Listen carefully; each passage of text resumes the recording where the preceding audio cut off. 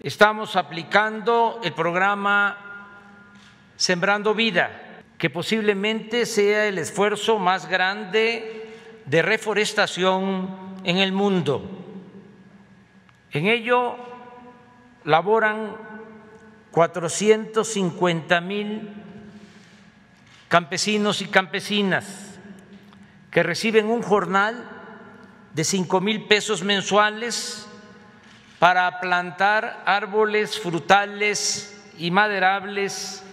El presupuesto asciende a 29 mil millones de pesos anuales, 1.400 millones de dólares.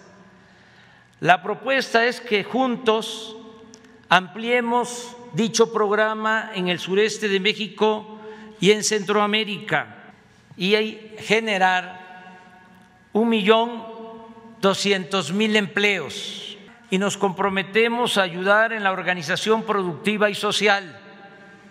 Y ustedes, presidente Biden, podrían financiar el programa Sembrando Vida en Guatemala, Honduras y El Salvador.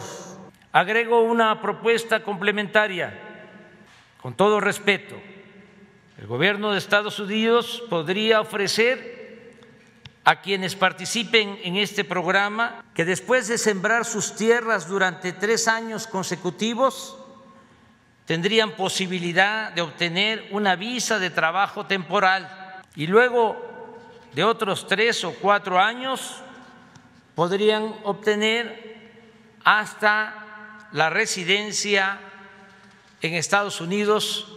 Además, usted, presidente Biden, es un hombre sensible y sabe que el espíritu de trabajo y el deseo de superación del migrante es fundamental en el desarrollo de las naciones. Es cosa de ordenar los flujos migratorios y darles cauce con humanismo y juicio práctico